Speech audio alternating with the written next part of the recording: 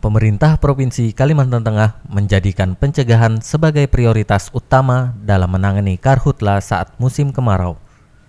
Pemerintah juga menghimbau kepada masyarakat agar mentaati peraturan gubernur tentang pendoman pembukaan lahan dan pekarangan bagi masyarakat di Kalimantan Tengah.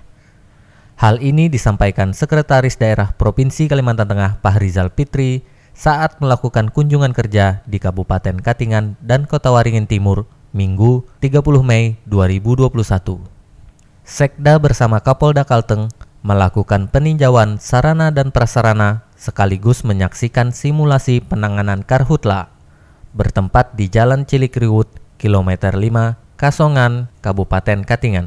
Dengan kekuatan personil dari unsur TNI Polri dan pemerintah daerah, ya, saya pikir uh, ini sudah cukup memadai tinggal uh, bagaimana uh, pendistribusian ke kabupaten uh, dari kecamatan sampai ke desa. Kita berharap sampai titik rendah ya di desa harus ada uh, masyarakat peduli api MPA ya. Yang mana kita harapkan MPA inilah yang melakukan sosialisasi kepada masyarakat, terus juga melakukan tindakan uh, penanganan kebakaran di saat api masih kecil. Usai melakukan peninjauan simulasi karhutla, Sekda bersama rombongan bergerak menuju jalan pembangunan Kerengpangi Katingan untuk meninjau pelaksanaan vaksinasi massal. Jumlah masyarakat Katingan yang sudah melakukan vaksinasi sebanyak 1.790 orang yang terdiri dari 688 lansia dan 1.102 pelayan publik. Sementara target vaksinasi massal yang berada di Jalan Pembangunan Kerengpangi berjumlah 290 orang terdiri dari 100 lansia dan 190 pelayan publik.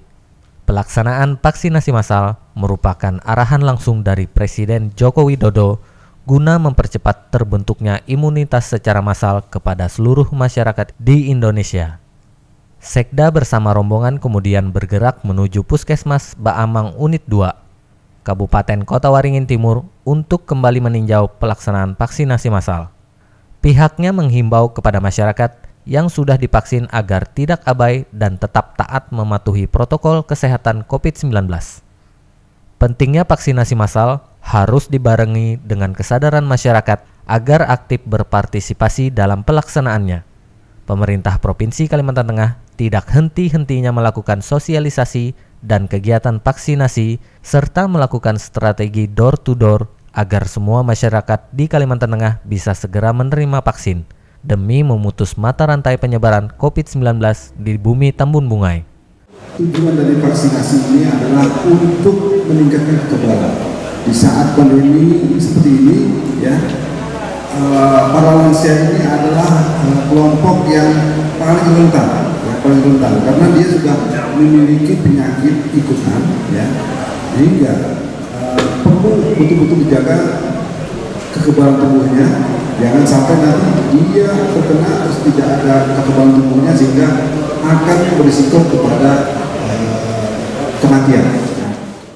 Rangkaian kunjungan kerja diakhiri dengan peninjauan kesiapan personel dan sarana prasarana serta simulasi penanganan karhutla di kantor Kecamatan Ketapang, Kabupaten Kota Waringin Timur. Sekda menghimbau kepada petugas penanggulangan karhutla untuk secara periodik melakukan patroli pada daerah rawan kebakaran.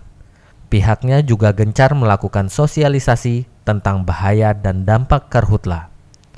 Dari Kota Waringin Timur, Ridwan Dendoni melaporkan. Tabe.